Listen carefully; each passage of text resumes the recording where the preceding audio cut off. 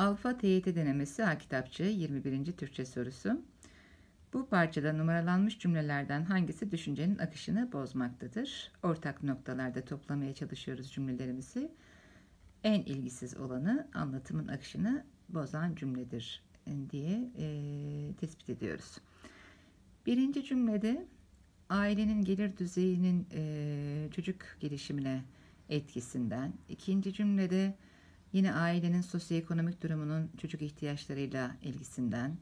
Üçüncü cümlede anne babanın ilgisizliğinin çocuk gelişimine etkisinden. Dördüncü cümlede annenin maddi imkansızlıklar içinde mutsuz olmasının çocuğa yansıyışı yine çocuğun gelişimi üzerindeki etkisinden söz edilmiş. E, oysa beşinci cümlede yani çocuk gelişiminde ailenin sosyal, sosyoekonomik durumundan başka çevrenin etkisinden söz edilmiştir. Yani konuyu başka bir mecraya e, taşıma eğilimi vardır bu cümlenin. Altıncı cümlede dördüncü cümleyle ilgili e, sanki onun devamı gibi bu durum yani stresli annenin e, durumu çocuğa yansıyışı e, çocukta şiddet eğilimine sebep olduğundan söz ediyor.